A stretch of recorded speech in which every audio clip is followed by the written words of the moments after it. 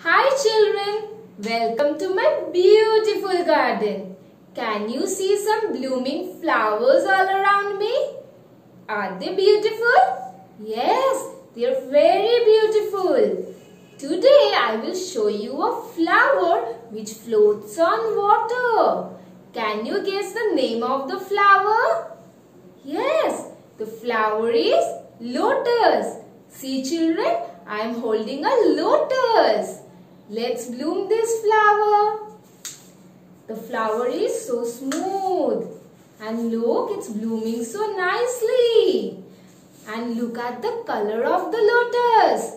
It is white in color. You will also find lotus in pink color.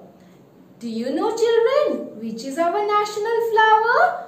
Our national flower is lotus. We also offer lotus during pujas. So children, what did we learn today? We learned about lotus. We learned about lotus. Children, lotus is a flower. Lotus is a flower. Thank you. Hello kids! I hope you loved this real video by Real Educators. Please do subscribe to our channel. Thank you.